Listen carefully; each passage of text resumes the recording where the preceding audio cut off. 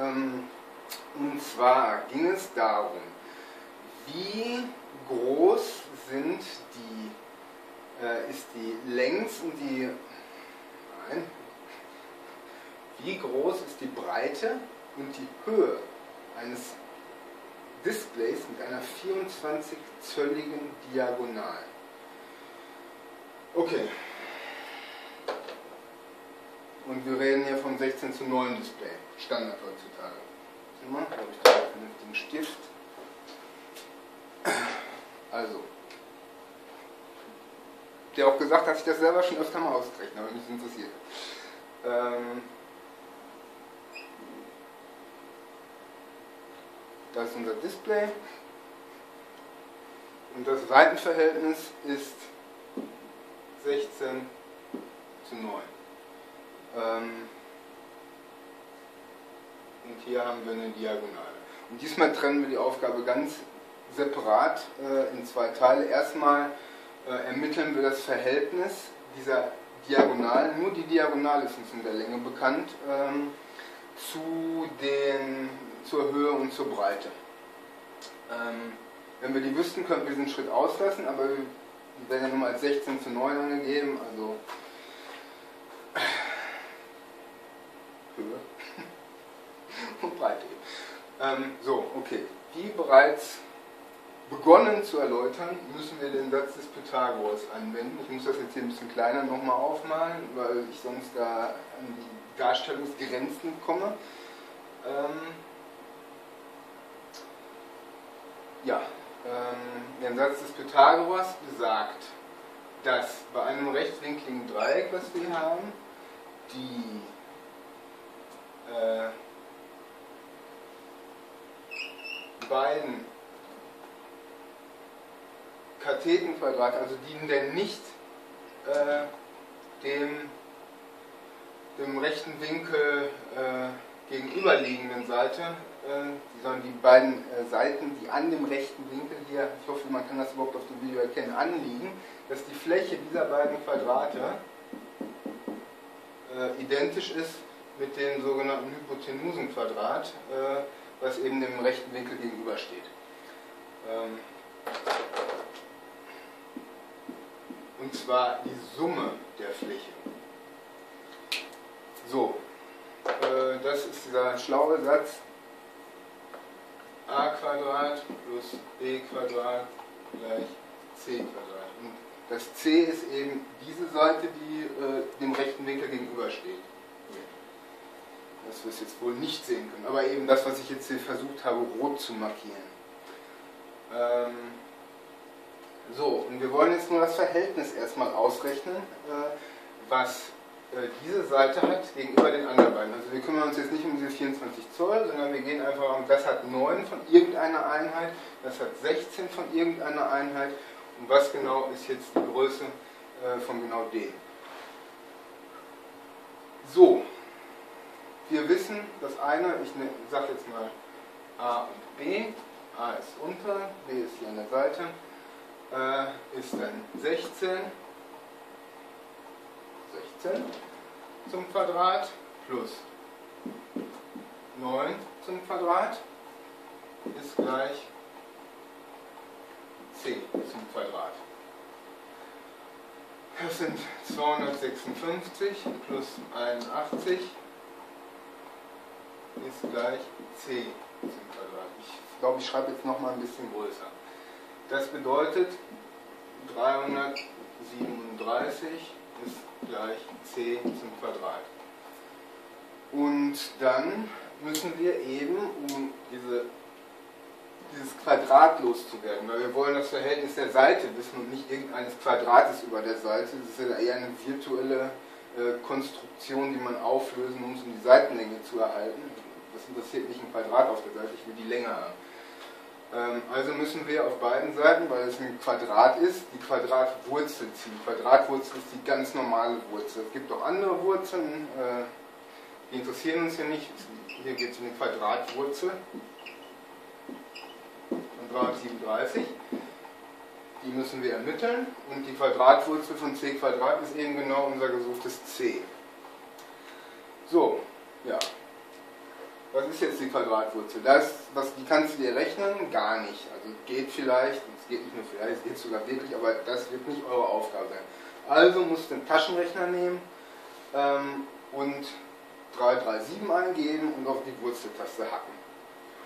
Äh, hier der tolle Taschenrechner von meinem Chef hier, wissenschaftlich, äh, unwissenschaftlich, äh, eher kaufmännisch, gibt das nicht her. Deswegen habe ich hier mal mit einer fürchterlichen Ungenauigkeit das schon vorher ausgerechnet. Ich habe lediglich fünf Stellen hinter dem Komma verwendet. Das tut mir unheimlich leid. Das Ergebnis ist 18,35756.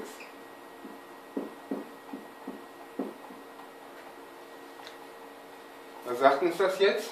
Jetzt haben wir das Verhältnis, also es ist ein ungefährer Wert. Ne? Also bitte, wenn es jetzt hier um Mikrometer geht, ne? dann reicht das nicht. Ähm, was sagt uns das jetzt? Wenn die Seite 9 lang ist, dann ist die 18,35756 lang. Wenn die Seite 16 lang ist, dann ist die 18, bla bla bla. Wir haben jetzt das Verhältnis. Ähm, so, das Verhältnis kann man in einem Bruch darstellen. Also man kann sagen, welcher Anteil dieser Seite ist denn diese Seite? In diesem Fall, ja, das ist 9 durch 18,3 5, 7, 5, 6. Damit würden wir jetzt eine Zahl rauskommen, die etwas kleiner als 0,5 ist. Passt ja auch. Die Diagonale ist nun mal etwas mehr als doppelt so lang. Sehen wir hier. 18 plus ein bisschen ist ja etwas mehr als doppelt so viel wie 9. Ähm, ja. Interessiert uns aber weniger, weil wir wollen nicht diese Länge haben, äh, sondern wir haben ja eine ganz andere Länge. Wir haben ja diese, äh, diese Zollangabe, 24 Zoll. Also müssen wir jetzt noch ähm, dieses Verhältnis der beiden Seiten zueinander mit der tatsächlichen Länge dieser Seite multiplizieren. Also wenn die Seite jetzt tatsächlich genau diese Länge hätte, dann würde ich das Ganze mit genau diesen Werten multiplizieren. Dann würde ich den Wert gegen den zu multiplizierenden Wert äh, herauskürzen können und dann bliebe die 9 übrig, was ja auch richtig ist, hier steht ja die 9. Wir haben aber eine andere Länge, also müssen wir auch unseren richtigen anderen Wert angeben. Und dazu müssen wir die 24 Zoll erstmal in Zentimeter umrechnen. Ähm, das mache ich jetzt mal einfach hier unten drunter. Das ist ja ganz normal. Einfach rechnen. 24. Äh, ich mache das mal hier als Kreuz böserweise, damit man es besser sehen kann. Äh, mal die 2,54 cm pro Zoll. Äh, Einheit 24 Inch äh, gleich 2,54 cm durch Inch ist gleich 60,9 6 cm. So, und das ist eben die Zahl, die diese Seite wirklich hat. Und da wir da vorne das Verhältnis der beiden gegenüber haben, müssen wir das jetzt einfach miteinander multiplizieren.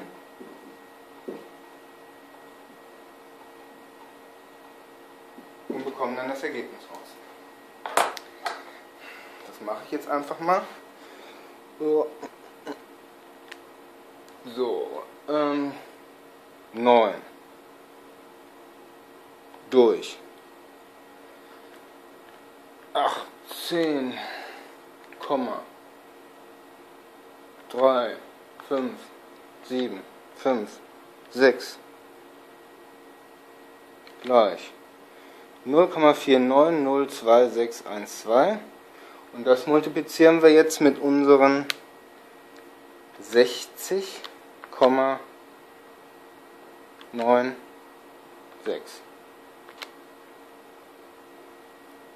Also 29,886. Ich rund das jetzt mal auf zwei Stellen hinterm Komma. Dabei fühle ich mich richtig scheiße, aber ich mache das jetzt einfach so.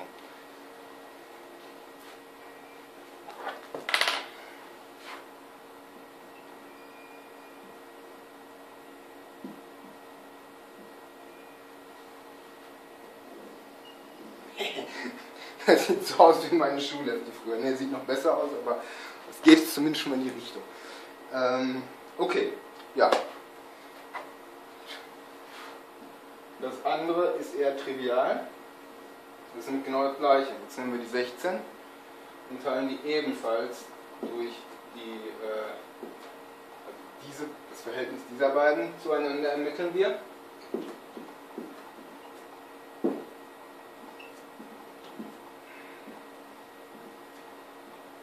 Wieder multipliziert. Das rechne ich jetzt mal eben hier schnell so aus, da kann ich hier schneller tippen. 16 durch 18,35756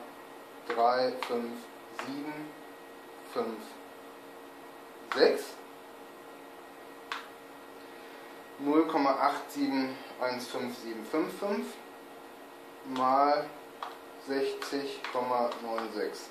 Das Zwischenergebnis, was der hat, das, das runde ich jetzt nicht irgendwie ab. Also Solange es geht, kann man ja ruhig mit den äh, Zwischenergebnissen arbeiten. Äh, je länger man mit den Zwischenergebnissen arbeitet, desto weniger hat man Rundungsfehler durch Zwischenrundungen. Und jeder Rundungsfehler ist richtig scheiße. Aber mal, mal volle Kanne. Kannst komplett vergessen. So. Da haben wir jetzt die 53,13. Das, das jetzt dahinter ist noch 3,131,242. Das rundet man dann eben ab auf die 3. Okay, jetzt könnte man noch sagen, hm, stimmt das überhaupt? Mir fällt da ein, wie man das relativ gut überprüfen könnte. Ähm, denn das Verhältnis der beiden Seiten, die wir ja sicher wissen, äh, 16 und 9, das kann ja hier falsch sein und hier können wir uns auch verrechnet haben, ist 16 durch 9. Also das Verhältnis zwischen den beiden. Wenn man das mal ausrechnet im Taschenrechner, äh, dann ist das 1, Periode 7, also 1,777777 bis zum St. Nimmerleinstag. Äh, und da wir jetzt hier zwei konkrete Längen ausgerechnet haben, müsste äh, sich das Verhältnis dieser beiden Werte zusammen auch als 1,7777 darstellen. Durch die Rundung kann es jetzt eine kleinere Differenz geben, aber äh, ich nehme jetzt die längere Seite, 53,13 und teile sie durch die kürzere Seite, 29,89 und bekomme als Ergebnis einen Wert, der mich zwar nicht wirklich erfreut, hm, aber der zumindest die ersten drei Nachkommastellen korrekt enthält. Also denke ich, äh, dass der Fehler sich ausschließlich auf die Rundung bezieht und würde sagen, quod erat demonstrandum. Also Schneefriss. Ich hoffe, ich konnte dir damit helfen. Ich hoffe, du hast es nicht mittlerweile eh schon alles fertig gemacht. Oder ich hoffe, und dann vor allen Dingen noch vielleicht in einer Art und Weise, die äh, dir einleuchtender erscheint oder offensichtlicher. Äh, ja. Ging eigentlich ganz gut. Also ich habe das nicht vorbereitet, das Einzige, was ich vorbereitet habe, war, war diese Wurzel, aber ich habe natürlich äh, schon, als du diese Aufgabe gestellt hast, äh, entsprechend darüber nachgedacht. Und ich glaube, ja, du hast ja sogar einmal zwischen, zwischendurch gezeigt, wie genau äh, denn euer Lösungsweg war. Ich habe das jetzt ja auch ein bisschen anders gemacht diesmal, indem ich das getrennt habe. Erst komplett die Verhältnisse, Zahlen raus und erst dann, wenn diese Geschichte klar ist, dann mit den Zahlen anfangen. Das hätte man ja auch mit einem Dreisatz machen können. Äh, das lehne ich ab. Das ist mir zu trivial. Okay, ich wünsche dir einen schönen Tag.